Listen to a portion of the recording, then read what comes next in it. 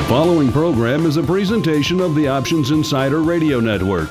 For more programs, visit www.theoptionsinsider.com or search for Options Insider Radio in iTunes.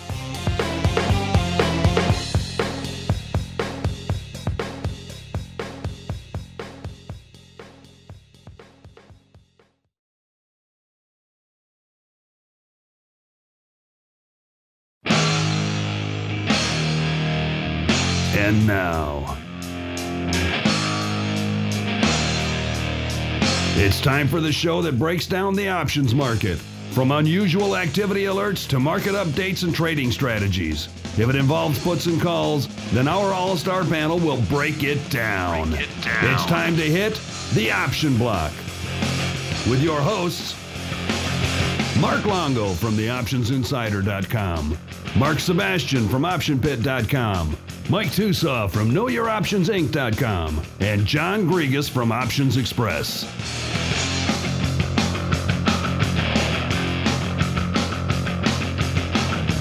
Welcome back to the Options Insider Radio Network and our second episode of the Option Block. Where now we're into the meat of the show proper, and we have a full stable of guests. It's the first time all of us have been on uh, in probably a couple of weeks together. So it's good to have the gang back together. And with that, we will dive right into the trading block. The trading block.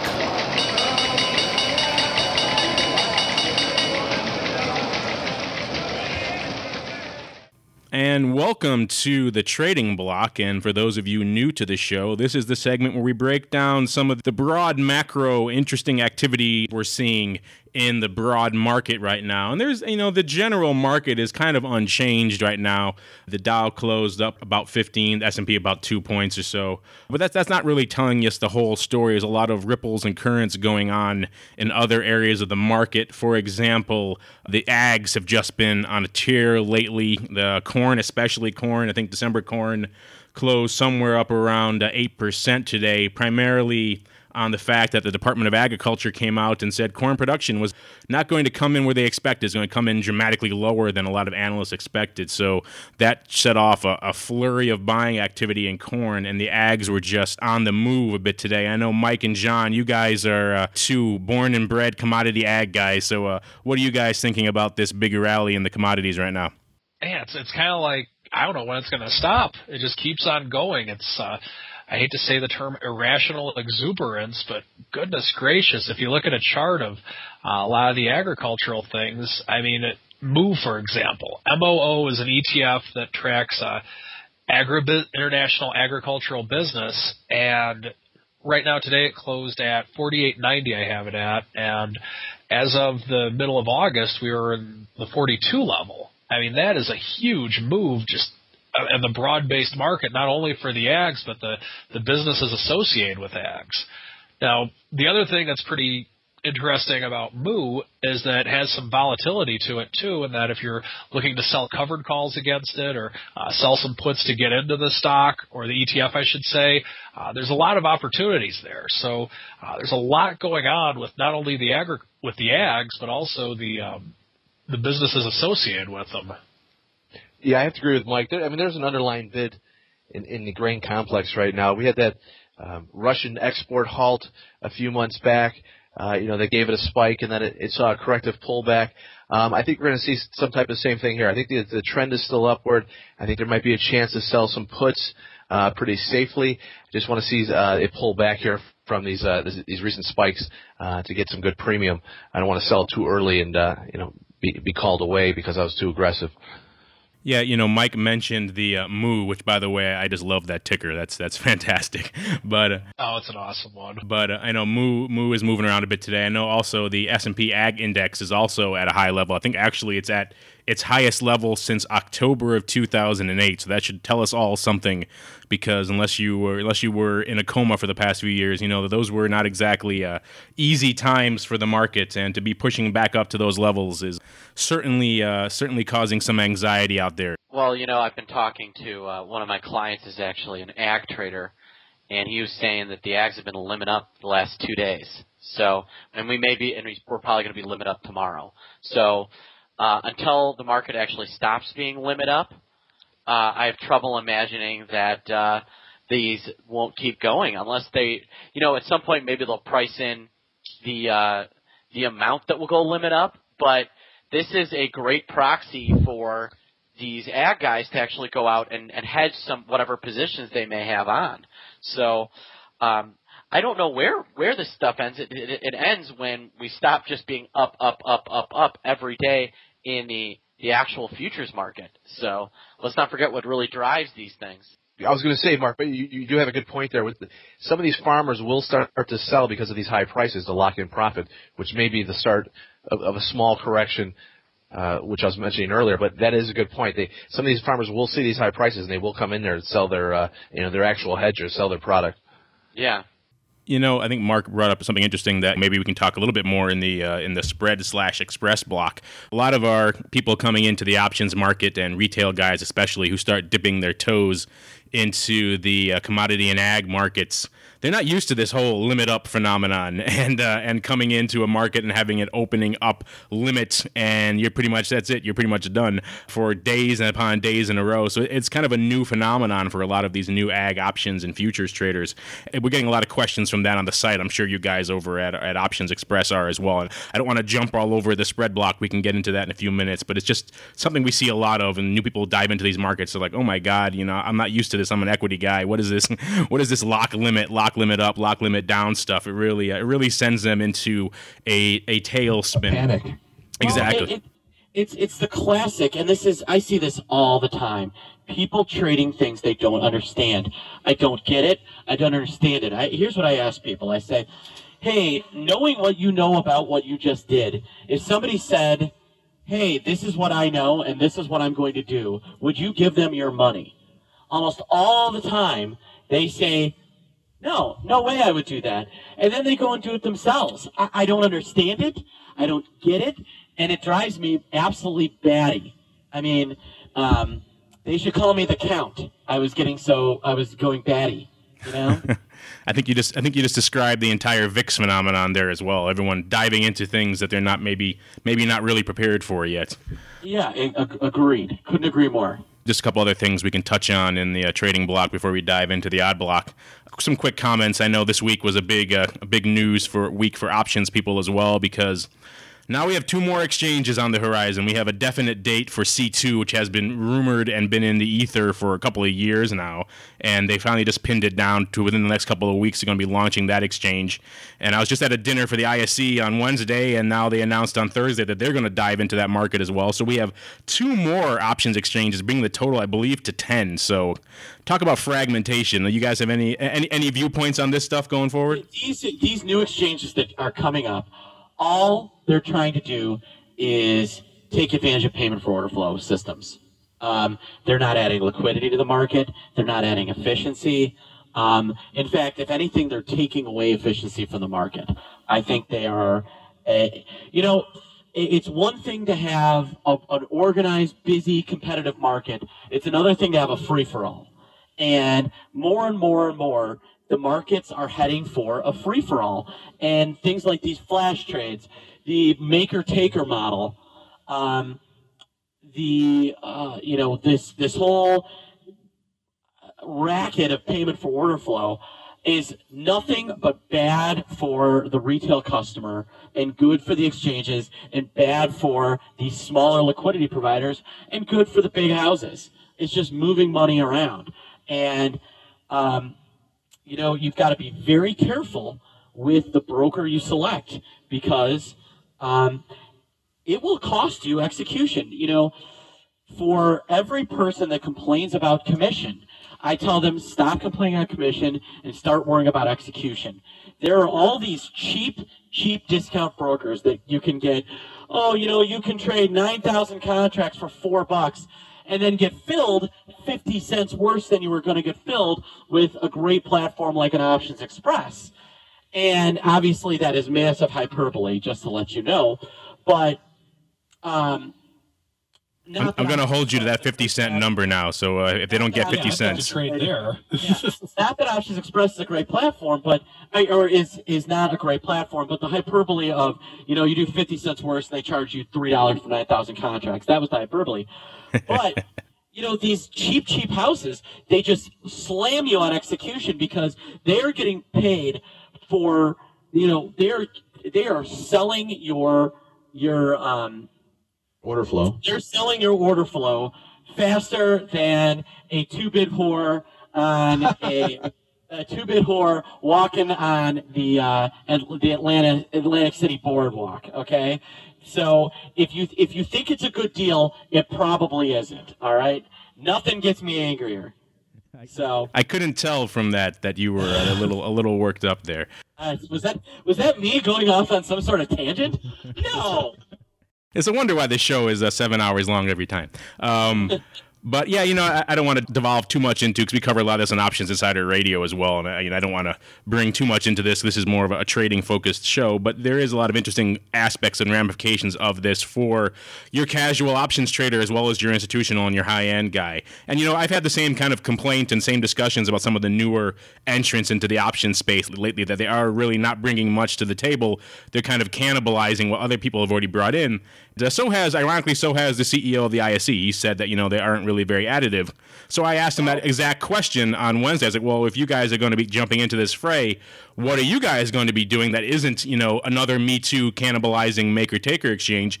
And he frankly said they don't know yet. I mean, and that's why when the journal running with this story that they've announced a new exchange, uh, yeah, they they've talked about doing it, but uh, there's nothing really concrete yet, and I don't think they've even worked out what they're going to bring to the table that is substantially different than what everyone else is out there doing, just gaming, you know, a few pennies here or there. And, and, the problem with this whole maker taker system, which is what all these new ones are based on, is that it gives the liquidity providers a great excuse not to send your order to the best exchange. Um, you know, there the whole concept, the way most people think about best representation is, oh, my order will get taken to the exchange that you know I'm trying to buy something in uh, Agilent Technologies. I'm trying to buy buy some calls, and the market's you know ten cents wide. And you know, I carp I in there's two exchanges that are offered at a buck ninety, and all the other exchanges are offered a buck ninety five. And I'm going to bid a dollar eighty-five, which is the mid-market. Now, when most people think of best representation, they think, well, certainly my order will get sent to one of those exchanges that has the best offer and the most liquidity.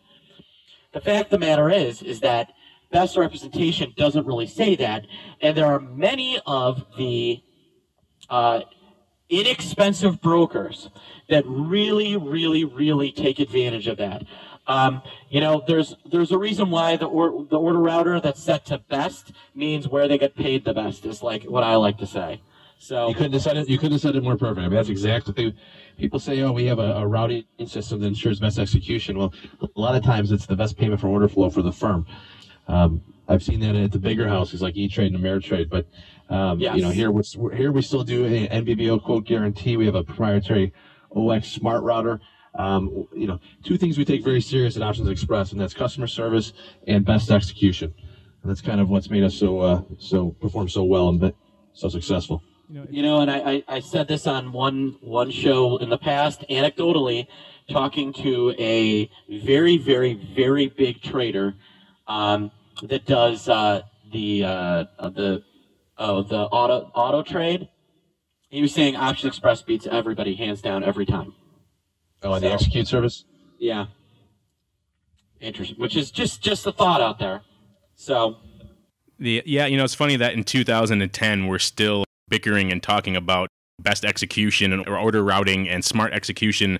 I mean, these are the same conversations we were having like 1999 and 2000, debating who was getting more payment and who was routing things through trade throughs and everything else like that. And to think, you know, 10 years later with penny wide virtual pick'em markets, we're we're still banding this stuff around. It's uh, it's it's kind of embarrassing to say the truth, and shows that the, that the SEC really did drop the ball 10 years ago, and they should have stepped in on on payment for order flow back when they had a chance. But enough of my uh, pontificating on this. I think we'll, uh, with that, we'll wrap up the old trading block and we'll dive right into the odd block. The odd block.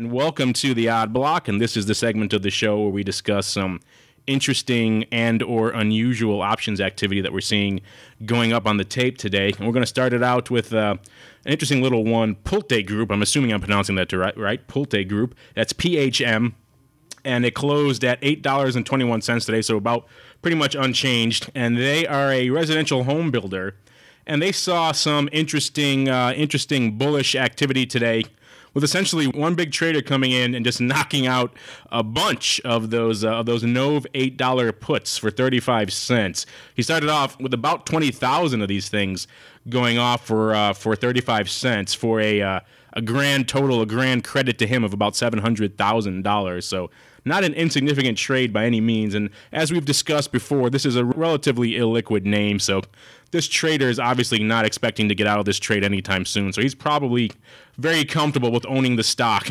down down at 765 at this level. Interestingly enough, when he put the order in, it was all or none. Yeah, how many So- how many times do you see a 20,000 lot all or none going up? That's what he had. He said, no printing until the entire, you can't print till the order's filled. And there was good edge in the trade, and there were a lot of different guys that wanted to do it. It took him a little while to get everything together.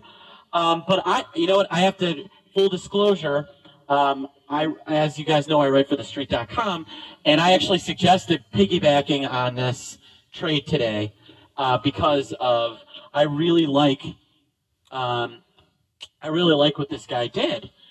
Uh, the uh, he's basically buying if, if for some reason this drops below seven eight bucks he's buying the he's buying Pulte at the absolute 52 week low below that all right I believe the total the low close that I've seen uh, was I'm looking 777 we might have had had an absolute low of 770 but we we never closed below actually 780. And so this guy would actually not only be buying Pulte below its 52 week low, he'd be buying below its 52 week trading low. Yeah, I'm looking at it now. I'm looking at it now. It never closed below eight. I might have traded below there, but never closed. It says Yeah. 52 week low here is eight uh, eight even. So yeah, it hasn't even gone below there from a close. Yeah, and, and you know, if you do the math on this, the return of this thing, this guy sells a, you know, with the stock trading 815 with 38 days to expiration, he collects 35 cents. What does that come out to on an annualized basis? You know? Yeah, that'll be something if we start seeing these. Uh, if he's rolling these 20,000 lots every month. Oh yeah, I mean, think about it. Three, you know, I'm I'm just looking, doing the math here, and on like a really over like, even if he just sold 20,000 38 days out and collected 35 cents, by the end of the year he'd have like three dollars and 35 cents in his pocket. Uh, what kind of return is that on an eight dollar stock? You know, it's like 42 percent. I have to imagine if he got that predictable, that the market makers would start leaning on him pretty hard after a while. Oh yeah, yeah, yeah. No, he's not gonna. But those those returns would drop substantially after about month three or month four. I would think. Yeah, I know, but I still think he could get 30 in between 30 and 40 out of it. Um, Yeah, maybe, You know, maybe. yeah, what they would do, obviously, they, they can't, there's this a point at which they, they can't do a certain amount. They've got to, you know, they- you, you, you bring things too low, somebody comes in and scoops you and just screws you. Um, and then you miss your chance to sell to this guy, right? Yeah, I mean, there's nothing worse than over crushing volatility, having someone come in and completely buy it up, and then they end up getting to sell it to the other guy. This is an interesting way to, definitely interesting trade, as you pointed out, and an interesting way to put on a position at, at a relatively decent level. Uh, and it's also an interesting execution. Like I said, all or none. That's uh, That was the part I was really surprised. I, I John. You're a broker. You've seen more than I have probably. But uh, how many twenty thousand all or none lots do you see coming into uh, to Options Express on a given day? Uh, zero, zero. No, we, we recommend that people use the all or none feature, uh, you know, for 30 to 50 contracts or more, or 5,000 shares or more. But I mean, that all or none feature, uh, sometimes will put you at a disadvantage. You know, you're not displayed on the NBBO quote. Um, execution is a little bit slower because it's a manual order, but uh, yeah, we don't recommend it. through you. They can trade know. through you. You're not, yeah, you're not displayed. And you have to have, uh, you know, in this case, a, a bid larger or equal to the size that you're trying to offer. In this case, I don't know how they got that order filled, but uh, it's, you know, Brokers good, you know, want good for them. Yeah. Yeah. Uh, you know what? It, it, the, the thing is, is doing it all or none, it really stops these guys from leaning on them, believe it or not. Um, it's actually easier to lean on an order that isn't all or none. Uh, because, you know, if the thing goes away from you, you can just go and grab some of it. If it's all or none, then it, the whole thing has to trade. So I actually think it, for, a, for an illiquid name like this, in order to stop himself from getting completely run over, I actually think he, he kind of did the right thing because this way the market makers couldn't go in and just sell everything in his face because they don't know if this whole thing's going to trade. That's true. You couldn't put up some other trade and then pick off a hundred lot for yourself to hedge it because you don't you don't you don't know if that trade is done at the end of the day. Exactly. The uh, so yeah, definitely uh, a couple interesting things about this trade, not just the size, but also the the manner of execution. And now moving on over to Chevron or CVX. This one closed around 83.71, down about 21 cents. And this one we saw an interesting ratio put spread going up in January. So we saw a trader coming out and picking up 3,500 of the Jan uh, Jan 2011 80 puts. So uh, those those went up for two dollars and seventy seven cents. And then he sold twice as many. It was a one by two, uh, seven thousand of the Jan 72 half puts for a dollar twenty, and that works out to a uh, to a net premium of 37 cents a contract. And so uh, we're seeing some interesting interesting stuff on this trade. And he's got a, obviously he's got a break even price of about uh, 79.63. So he thinks it's going to trend uh, a wee bit lower before expiration in January. But you know we don't see too many size ratios going up these days. So it's interesting to put these out a little bit there and just show them out there to our audience and show some of the different ways you can execute your your straight up spreads as opposed to just doing one by one. You know, reg- legging in on a ratio also works as well. I like this trade. I mean, I don't know if I necessarily like. Full disclosure, we I, I, have clients in Chevron more along the lines of collars and protective puts, but I like the concept of this trade, the one by two ratio put spread, as a way of uh, kind of like doing a complicated way of uh, selling a put to get into a stock, so to speak. And that uh, this trader looks like he believe he could believe that uh, perhaps Chevron's going to go down a little bit, but if it does go down to the 72 level, or maybe even a little bit lower, he's more than happy to own it at that level and make some money on the way down from the 80 puts. So Yeah. uh, th- this is a strategy that we use um, somewhat frequently to get into stocks in lieu of just selling a put to get into stocks. Yeah, it's an interesting ratio. It's an interesting way to position yourself. And like I said, this guy's got to start dropping about 5%, about 4.8% before this trade really starts to break even in his favor. And it starts gapping down to around, you know, where his 72 half strike is, then he really starts doing well. Moving on from uh, Chevron, because not much to say about the ratio put spread. It's just interesting, interesting little. Oh, go ahead, Mark. You have something you want to say about that? Or? No, no, I was just saying, yeah, I mean, I, I agree. It's, it's an interesting little spread. Um, you know, I I wouldn't look too much into it. This isn't, Chevron does a little more paper than Pulte Homes. So I wouldn't re- the key is on something like this, you have to take the size of the trade in context of how big, how liquid the options are. And there's a big difference between, you know, like 10,000 in Chevron and 10,000 in Pulte Homes. So, yeah, it's, but, but you're right. This is a really interesting trade. It's always fun to kind of look at these type of trades.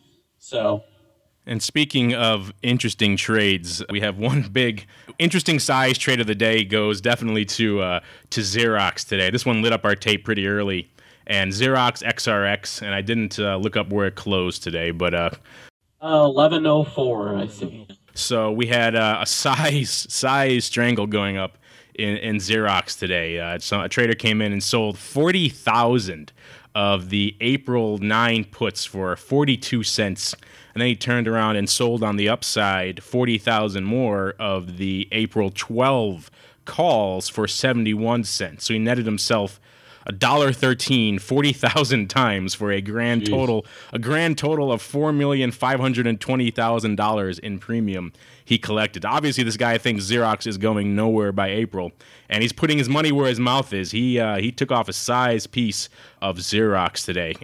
Did he dump stock in this thing too? Now I was looking, I, I didn't see I didn't see any hedges going up on that. I, I did. I didn't. Um, I didn't see any major hedges either. So yeah, look, looks like he just naked came out and hit the strangle. He's looking for uh, Xerox to hover till April.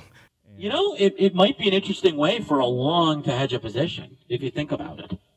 Um, if I was a big, big holder in Xerox and I, I don't mind buying it below nine and I want to collect a big premium, it, you know, it's an interesting way of, of, of, of hedging if you were long. Uh, but we really don't know what, what this guy's story is. Um, you just, yeah, I can't, I'm not seeing any huge prints on this thing. Um, Yeah, you know, this is there's nothing else to indicate anything that this guy was coming in as you know a size underlying holder. Of course, that has to be one of your guesses whenever you see something like this going up, just because it, it is unusual for someone to come in and just blast out this many strangles without some other axe to grind somewhere else. Yeah, yeah. No, the only the only hedging I'm seeing is from the other end. It looks like I'm seeing some market makers selling stock, but uh, yeah, I don't know. I mean, he, he didn't he did do a couple of clips of this thing. It wasn't done in one trade. You know, this mi- Well- this might be a flip side to kind of what we were talking about before with the Pulte Homes guys coming in and knocking out twenty thousand at a time, and then maybe potentially rolling that trade every month. This guy obviously just decided to jump out to April and not even bother. I mean, obviously, forty thousand is a lot to do in every single month. But if he, you know, if he if he wanted to maximize, just go for pure decay, he would want to hit it on, you know, on a much nearer term than April. Right. He apparently just decided to put on his one bet, get it off, and, and let it sit till it decays. And he decided April, for some reason, was the best way to do that. I haven't looked at the term structure. Is April significantly higher than some of the other months out there? You know, every the further out you go, the more your the more the term structure is kind of screwed up. So, um, you know, yeah, I mean, April is going to be significantly higher. Let's see. Um, you know, if you wanted to sell, no, you know, November is trading at an IV of about 36 at the money, and April a little higher, 37, 38, uh, but nothing, nothing ridiculous. Um, obviously, I'm guessing the April was a little higher prior to this guy selling. I, I would think so. Yeah, Uh, forty thousand well, yeah. strangles tends to do that. my guess is he got in at like a 38 or a 39 vol at the money. Um, it's now down to about a 37. So he took it in a couple points, but that's still higher than where he, where he could sell November right now in Jan. So it looks like he probably picked up one or two points there. Nothing ridiculous, but certainly not uh, nothing to sneeze at. And then uh, we'll finish up with just a, a quick one we saw going up on the tape as we were putting some stuff together. And this is a New York Times NYT. These guys closed up $8.62, up 61 cents. And uh, looks like they did about 60 times their average daily volume today. And really, they usually do about a couple hundred, maybe, or maybe a few thousand contracts at most. And they put up a size number of trades. The bulk of those seem to be in the April 7 puts at least 21,000 of those going up for prices being bought and prices ranging from 65 to 75 cents. So once again, April, the go-to month for some reason out there in New York Times, a lot of a lot of bearish sentiments for uh, New York Times that were heading below the seven strike by April. Yeah, I mean, Yeah. Oh, sorry. You got to be a, you got to be a short seller of the print media these days, especially newspapers. Um, you know, they're they're headed toward uh, their own death, as far as I'm concerned.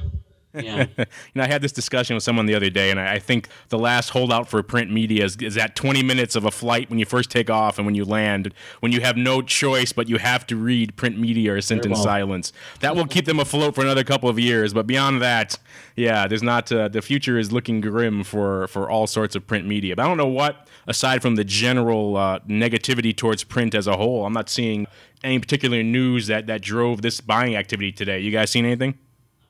Well, I know a couple of I know a couple of weeks or a couple days ago they had some news out that their you know even their kind of revenue had you know they'd been able to raise price and raise price and raise price to keep delivery revenue and deliveries kind of constant, um, and even that's starting to fall off.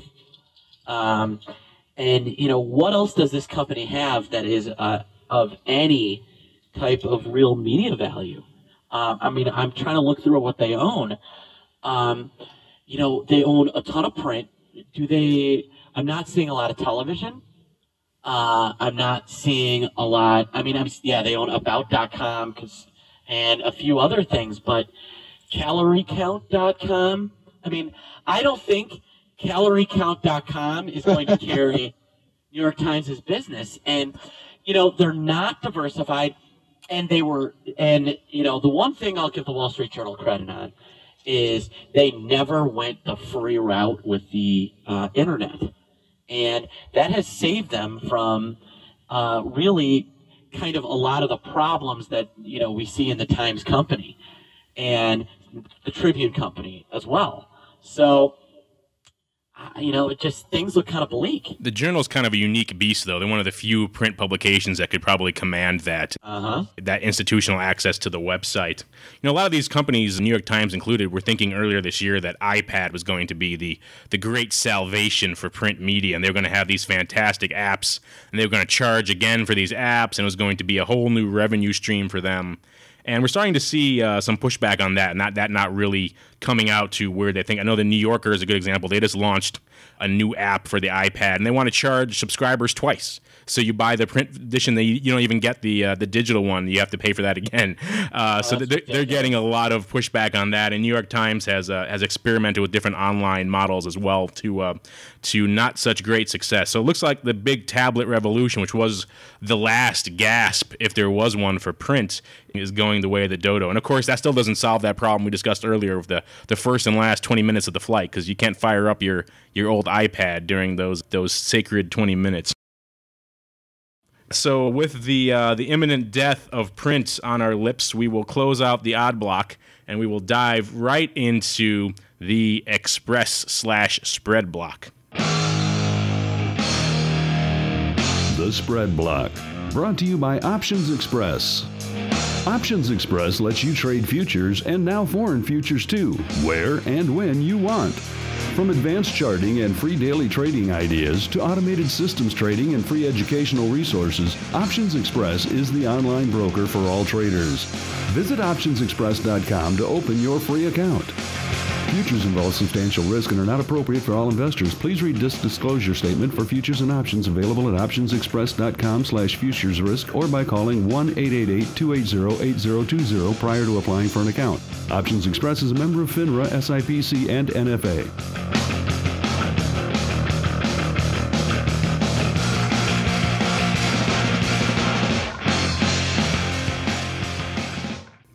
All right, John, and now we are in the good old express slash spread block. What have we been seeing? What have we been hearing from retail? Well, I mean, we touched on it uh, earlier today in, in our segment, uh, the option block, but it's grains. It's grains, grains, grains. I mean, uh, when I left to work on Friday, uh, people were getting, you know, calling in about grains, uh, live chat. Uh, if you're not familiar with it, we do have a live chat feature. If you don't want to pick up the phone, uh, we do customer service through live chat as well. But, um, you know, everybody remembers it's, it's, probably one of my favorite movies, if not, you know, uh, my favorite trading movies, if not my favorite movie of all time. Turn those machines back on. Yeah, trading places. I mean, what was the center of of that whole plot was Beeks getting the USDA grain report estimates. Okay, so that's what came out Friday between between the morning session close. And how grains trade is that at uh, 9:30 Central uh, they reopen from a pause that they have at about 7:15 a.m. Central. So between that time is when they release this USDA grain report. Um, uh, just to touch on what they said about the corn, uh, reported that the average yield per acre for this use, for this year's U.S. corn crop will drop to 155.8 bushels of corn, as compared to last month's estimate of 162.5. Okay, that's a drop of almost 7,000 bushels. Um, you know, to have a drop of 1,000 would be significant. So, you know, without even having to call the floor for an opening call, you know, we just knew that the grain complex, the beans, uh, you know, you got your meal, oil, um, you know, wheat, even uh, oats and rough rice. I mean, everything was limit up. Um, and if you're not familiar with limit up, we're you know, go into a little more detail here. unlike stock, uh, and not not all futures, but the majority of them do have uh, limit up and limit down price movements. Uh, corn 30 cents, oats uh, 20, beans 70 cents, wheat 60 cents. And what that is is that once we hit that level from the previous previous day's close, these things can no longer trade any higher. So we opened up lock limit up. About an hour went by, called the floor, trying to get some numbers and find out, hey, is this thing going to see any follow through on Sunday night? Um, in corn, they had 144,000 contracts bid limit up. So that means, you know, I had some guys, hey, I want to, I want to buy it at this price. I think it's going to go higher. We'll, we'll get in line. You're, you're 144,000 in one. Um, you know, significant buyers came in, significant short covering occurred. Um, and, an interesting thing also that happened is a lot of people say, "Well, I have a stop in it. I'm, I'm, protected. I can I can get out at the market." Well, it doesn't work that way. Okay, you have a stop order, it blows through there, and you now oh, have a market order. Well, you can't buy it when it's when it's lock limit up. You, even if you have a market order. Um, another thing about stops that we had a lot of people calling in, uh, we had to educate them on was the fact that there's something called a protection point, and what a protection point is is how far a market order can run. So, like if a stop is elected at seven dollars and fifty cents, where you say, "Well, I, I, can get filled." Well, they have a five cent protection point, meaning that if it can't fill from seven fifty to seven fifty five, your stop order uh, becomes a limit order at seven fifty five. Okay, if it's a GTC order and, and it runs and the market runs away, you're still working that limit order at 755. So there's, you know, a chance that even when you're using a stop order, um, as you should. I mean, when you get into a trade, you should know your exit and entry points prior to putting the trade on. A stop order in this type of volatile market doesn't actually guarantee that you will get out of your position. Um, but it was a, a pretty volatile day. You know, Sunday they opened up, lock limit up. They did pull back a little bit. I know Mark uh, Sebastian said that they believe that they were lock limit up today, but I believe they did pull back. Um, did you guys see if uh, they finished lock limit up at 115 today, or? Uh, let me take a look. I thought they did. They might have. Uh, yeah, I don't want to contradict you because I thought you said lock limit up two days in a row, but I thought they I thought they pulled back, especially for the soybeans. And soybeans for, finished uh, one fifteen oh four. One fifteen or uh, the November soybean tra- uh, last sale was uh, eleven fifty and uh, eleven fifty four. Eleven fifty oh four. So and, and, the reason, and another thing too, is that when, when we have this type of lock limit up, the exchange will make a decision on whether they want to uh, expand the limits. Usually, I think they do two to three days lock limit up. They'll expand the limits. They've kind of backed away from that. Um, we did have expanded limits for the Sunday opening. Corn went from 30 to 45. Uh, beans went from 70 cents to a dollar five, and wheat uh, went from 60 cents to 90. Those are the three main ones that you're going to see the, the volume in. But you know, with this type of volatility, they have to make more room for the markets to continue to move because uh, otherwise you're going to have three, four days of lock limit up. Um, interestingly enough, our analyst, I think uh, Rob, he might have been on here on the last show, or the first show, I should say. Um, he does write uh, Futures uh, Expresso, which is a uh, newsletter that we send out daily each morning before the grain markets open up. Um, you know, if you're have an account at Options Express, you can sign up for this newsletter. They send it to you every morning, but it's a good read. It also gives you a trade ideas for whether you're bullish or bearish. So if you say, hey, I'm looking at this chart and this is a, a temporary move up, I'm going to go ahead and put maybe a, uh, you know bear call or bear put spread on um, and take advantage of a pullback. Um, so did they expand lock limit up today? Is that why we weren't there? Yeah, no, they they decided uh, before the open um, that they were going to move limits.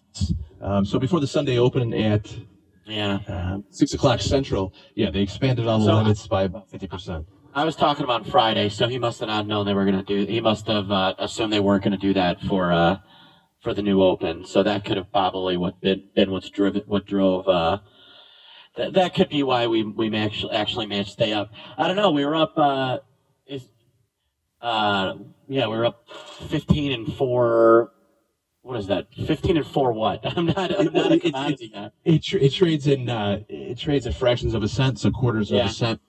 Um, yeah. That's a lot of people misunderstand and say, "Hey, it's I want to buy it at uh, you know five dollars or something like that." But it actually, yeah, it trades in quarters of a cent. So that point zero two or point two five is actually a quarter of a cent.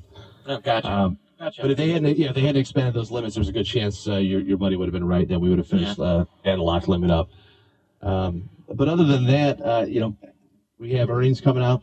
Uh, Alcoa kicked it off on uh, Friday uh, with better than expected earnings. Uh, we're hoping that's kind of the continues the, the, the, tone for the rest of the earnings season. So you guys must obviously your your switchboard has been lighting up with grain questions. You mentioned something I thought was interesting. You also have the uh, the live chat option. I'm kind of just curious what uh, what percentage would you say of, of your customers are, coming in and contacting you via the live chat versus picking up the phone and, and launching a, a frantic phone call saying why are why are these limit up? It still remains, uh, you know, a minority of the amount of uh, customer contact that we do see. I'd say it's in the area of about 25 percent. Uh, you know, obviously people are more likely to pick up the phone and just speak to a live broker. But I got to tell you, there's some instances where I don't want to be on the phone or I'm doing something else and want to walk around my house and, and the live chat. Uh, you know, it just makes sense. Uh, you, you have licensed brokers on the other side of that uh, that IM. Um, you know, they can shoot links to you, they can show you screenshots, so they can pretty much do everything you know that we can on the phone. It's just at a, at a slightly slower pace. Yeah, they do a great job with that. I actually know of a rep that he's not with uh, Options Express or Brokers Express, but there's actually been a time when this rep would, if he if he had a question that he needed answered, like on what are the contribution limits for an IRA or something a little bit more complex than that, it would take him less time to just use the Options Express live chat than going to his own people and his own broker dealer and waiting for the bureaucracy of getting an answer. So they have a great reputation. They do an excellent job with that. You know, people sometimes come to our site and they uh, complain about commissions or whatever it might be. But you know, there are there are inherent costs to running a brokerage, and one of them is having a staff of trained brokers on the other side of that IM window, waiting for you to uh, to send an IM. That's, that's always an interesting resource that they have it's amazing to me still after having done this for so long and been involved with so many different firms just just how much the resources available to your average retail guy has just exploded just even in the past couple of years. It's unbelievable. I couldn't agree more. Yeah besides im i mean we have uh, you know there's still people that send in emails. We do a few thousand uh, you know i don't know they have the numbers right in front of me but i think it's around 15000 emails a month uh, which seems high but i mean when you think you have 400000 accounts it's actually uh, not that much but they i mean we, we always get an answer out to you within uh, 24 hours, most of the time same day, but we're we're aiming for four hours. That's our goal right, right now is to get a turnaround. Um, you know, those people really don't expect that type of answer that quickly, but uh, you know, like I said earlier, we try to put customer service first. Well, yeah, you know, I feel like a lot of a lot of firms treat their treat their customers like. I don't know, like a pot dealer at a Phish concert. You know, it's like, all right, take your bag of weed and get out of here. And they, Are we speaking from experience here, Mark, or, or what? I, believe it or not, I'm not a big fan of Phish. Um, oh, okay. Oh, okay. that so, clears it all up right there. There we go. I'm, I'm, not. I'm not. You know what it is? Is I had a bunch of buddies that were uh, that were huge Phish fans, and they were unemployed for a, uh, for a good four or five years after college, while I was not. So, life lesson: if your kid if your kid listens to Phish, expect them to live at your house after he graduates college. All right, and with that little bit of life wisdom, with our no, that's staying in. That's gold. That's gold, baby. I, I, want your I want your wisdom percolating out there to the masses on, on a regular basis. And with, with that pearl of wisdom, we shall close out the old express block and move straight into the strategy block.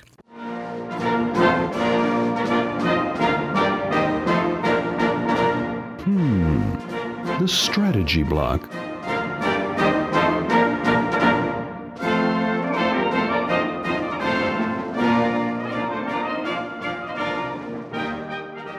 And welcome to the strategy block. This is the segment of the show where we discuss some uh, particularly relevant or interesting strategy or technique to implement in the options market. And I believe today, Mr. Tosaw, you plan to discuss 10 year note futures and options. Am I correct, sir? You are correct. I have to say, I was all excited about what I was going to kind of subtitle this, but after the whole Phish concert uh, analogy, I don't know how I can top that, but I'm going to try. So here, here, we go. Jump on the boat with the 10 year note. What do you guys think of that? I like it. I like it. Not bad. But, Not know, bad. Then you could, you could, you could go here, fishy, fishy, fishy, fishy. Uh, no. No, I, I, don't know about that one. I'm definitely leaving that in though. That is that is that is gold as well. oh, so horrible. just, you, you, you, just keep digging. I love it. It's fantastic. We're gonna we're gonna put it all we're gonna put it all in there. There you go. But anyway, on the ten year note, this is in the retail world. Not a lot of retail clients trade this, and this is a pretty interesting product. Ten-year note. It's it's kind of like the S and P 500 in the fixed income world. Uh, for a stock trader, people want to know what the S&P closed at today or what the Dow closed at today. In the bond world, there's the 10-year note. That's kind of like the benchmark, so to speak, as to how things perform, what are interest rates, and that type of thing. Now, what I want to talk about today is just it's another way with which you could look to trade something uh, as a retail trader let's say that you are bullish on bonds or bearish on bonds for that matter but for sake of simplicity let's just say that we're bullish in terms of explaining the product. If you're bullish on bonds you can one go out and buy some bonds. Two you can go out and buy some type of a bond etf whether it's ief shy uh, tlt just depending on whether you're what uh, time frame you're looking to do but then there's another option that you have, and that is going long futures contracts. Now, there's futures contracts on the two year, the 10 year, and the 30 year. Today, I just want to talk about the 10 year. With that, the size of the contract is approximately $120,000. So, by getting along the 10 year note, you're really taking a pretty sizable position from the standpoint of how big you're actually playing the market space. So, with that in mind, it's a pretty leveraged product as well. The initial margin required to get into a 10 year note futures contract is about $1,900. So you're only have to have to put up about $1,900 for the ability to control over $120,000 worth of an investment. Now, if that leverage doesn't. Mike, and, and the, the, day, the day trade on that is less than $600. So if you were just going to go intraday, I mean, you're talking five hundred and forty dollars uh, to hold one hundred twenty thousand dollar uh, notional value. Yeah, that's, that's insanity. Because like yeah. typically in the day trading margin, it's usually what about half of the maintenance margin, if I'm not mistaken. Correct. Yeah. So yeah, it's it's something else. So if you want leverage, you got it here in the ten year note. Now, with that being said, full disclosure, I don't have any clients in the 10 year note futures right now, but I have traded options on them in the past with my own account. And what I like about it is it's it's one to where you can kind of get some of the you can get premium in it, so to speak, and you don't have a ginormous margin requirement, so to speak. So if you're uh, selling options on it, whether you're selling naked options or whether you're doing ratio spreads or whether you're just trading the underlying, it's something to where you can get quite a big bang for your buck. Uh, another way with which you can use 10 year note futures, let's say that you have a large portfolio full of bonds, uh, corporates, munis, uh, uh, government treasuries, and it's at least six figures big, and you're concerned with rising interest rates. Well, you could use a, a futures contract on the 10 year note as somewhat of a hedge against interest rates, not against the bonds themselves, because if you have California municipal bonds and they and they default, well, the interest rate hedge isn't going to do you much good. But let's say that you're concerned with rising interest rates. Interest rates have an inverse relationship to the valuation of bonds. One thing that you could do is short either the two year, the 10 year, the 30 year, depending on how your portfolio of bonds matches up. So that way you can collect your interest rate payment from the bonds themselves. But if you're concerned with rising interest rates and that's going to hurt the value of your bond portfolio, you have a short on in a bond futures contract. That's one way with which you can hedge it. Now, the other thing with the 10 year note, plan on getting confused with the tick sizes and the and the uh, fractions of it. Yeah, that's something we get all the time. Is yeah, just uh, totally. uh, ticks. Let's dig into that a little bit because that's just a nightmare for most people coming into these for the first time. It is, and the, the way to do it, I think, is just to get, get just get an understanding of how it works. The ten-year note itself, the futures contract, that trades in thirty seconds. So, and it trades in halves as well. So you can, because right now I'm just looking at an older quote on the 10 year note. Uh, it's, it's at 127 and 11 and a half 30 seconds. So it actually has 0.5 30 seconds could be a quote on the 10 year note. So it's one where you kind of got to get a feel for that as to how that works as well. Uh, the other thing with it, if you're looking at an option, that just trades in 64ths. So the options on them trade in 64ths. The futures themselves trade in 30 seconds. So you get a feel for that. You can learn a little bit more about that on the Options Express website. You can under the under the quote tab, you can click on futures chains. And when you click on the futures chains, one thing you can do in the symbol box, just type in TY. And that'll give you a chain of all of the futures contracts on the 10 year note, uh, the December, the March, the June. And then you can click on TYZ10, which is the December 10 year note contract, and that'll take you to the quote detail page. Now, in there, you'll actually get to see the tick sizes, the times that it trades, uh, the size of the contract itself, all the information that you need for the 10 year note. It's available within the quote detail page on the Options Express website or the Brokers Express website for that matter. So I definitely recommend checking it out for all of you OX clients out there. And for those of you that aren't OX clients, well, you guys just don't get to trade. You'll miss out on all the fun. I got to tell you, I, I, I love the 10 year note. I don't know if it's the $472 uh, day trading margin, but uh, you know I traded that exclusively for two years, and I, I, I think there's a, it's just a great product to uh, to trade. If anyone's seen the chart lately, it's only gone up. I mean that's just that's just what it's doing with the Fed, you know, kind of coming in there and buying assets. Um, you know, it, it's it's really doesn't have a, a look like it's going to pull back here anytime soon. You seeing a lot of interest in the treasuries over there at uh, at Options Express these days, John? Or- I mean, yeah, w- w- you know, futures in general, options on futures is, is another market like uh, equity options that just have exploded. Uh, I think it was in um, May of May of 10, yeah, this year we did over a million contracts the first time uh, in the month of May. So it's a very significant milestone, and it's only gone up from there. I mean, you know, gold 1354 is closed at, you know, Treasury yields at, uh, you know, all time lows. Um, you know, the currency markets with the euro trading down from to 115 all the way back to where we're at right now, about 138. I mean, these commodity markets, I mean, look at the Dow up 15 today.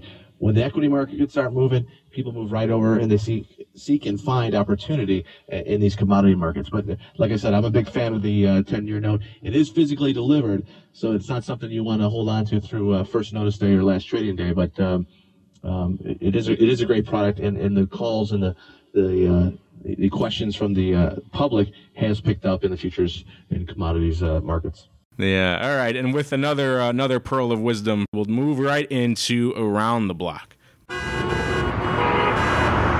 Around the block.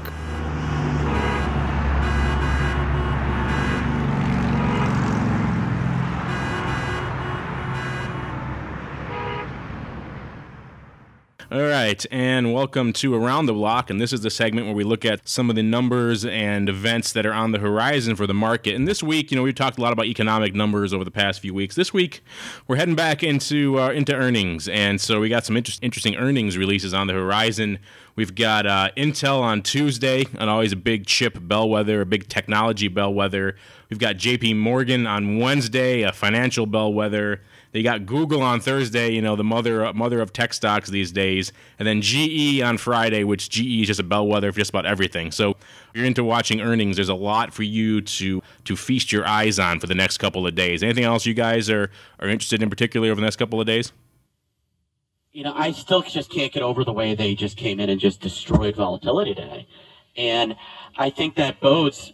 I mean that that that hits hard. I mean, we're dealing with like I said, adjusted for weekend decay, we were down almost two and a half points on the VIX. This was just an unbelievable, just clobbering of implied volatility. Now, granted, realized volatility on by a lot of um, levels is way below where we're still trading, but um, you know, this just seems like it was a little overdone into you know, earnings season and a lot of other different things.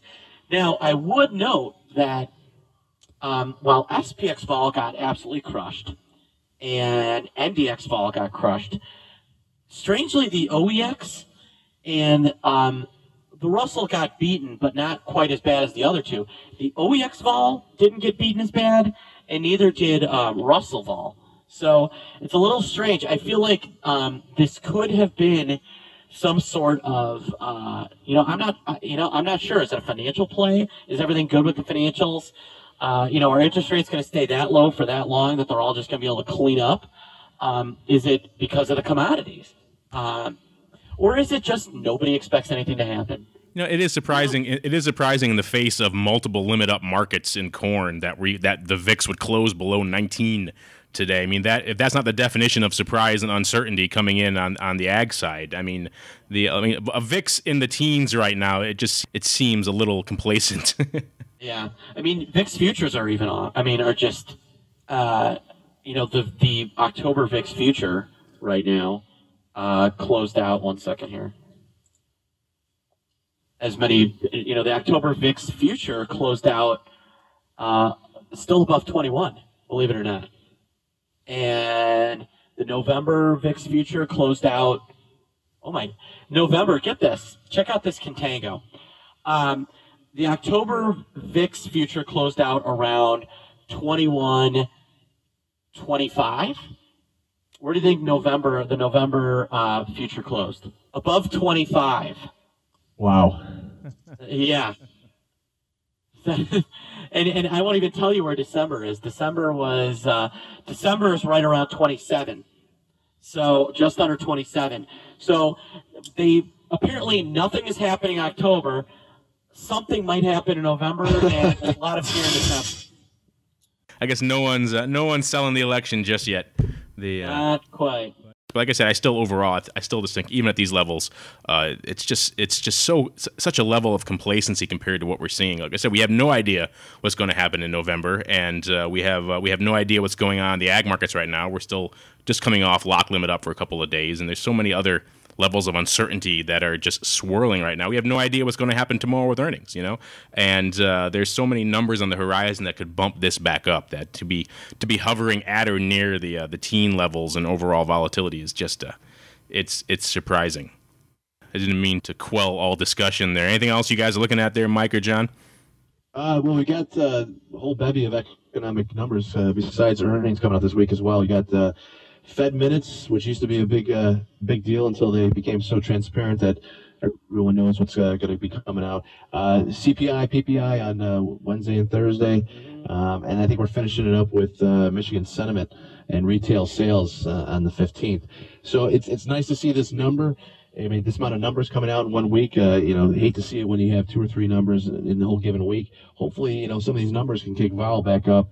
You know, near November 25 level or something because yeah, I mean, you said we closed on the VIX cash around below 19 today. Uh, 1896, yeah. Yeah. I was I was laughing when it fell below 20 today. I was like, oh, that's that's just you know exceedingly yeah, low. Well, hopefully, VIX cash is uh, it's the VIX cash is not forward looking. I I really this will be a this could be a great debate, but I don't think the VIX cash is forward looking at all. I th- I think it, it's it's uh it's more of a reactionary number than it is a an, an actual. You know, I have to. I'm I'm constantly um, you know, trying to correct people on when on what the at the money strike is for the VIX options. You know. But haven't you heard VIX is a great pure hedge for the market, and it's a fantastic prognosticating tool for where the market will be a month from now. It's it's it's perfect on all of those horizons. I, I can't believe you would disparage it so. I, I apologize. I apologize. I am one of those VIX haters. I have to admit. So. And there goes our enormous CBOE sponsorship for uh, for next episode. no, no, I like the VIX futures and I like the VIX product. The VIX cash, that's the one I don't like. I think the VIX futures and the VIX options actually have a real value in hedging when implied volatility skew is overly inflated. So. And that's going to do it for another episode of the Option Block. I want to thank all the hosts. I'm glad we can get everyone together in one virtual room today, and hopefully we'll be able to do it again later this week. Thanks to all of you for listening and for downloading the show, whether it's on iTunes or on the Options Insider or all the other various and sundry places that this show is popping up. OX customers, you guys are going to be able to uh, to download and stream it directly from the website pretty soon, and hopefully from the portable app as well. That's still in beta, so to speak. So thanks again for listening to the Option Block, and we will see you next time.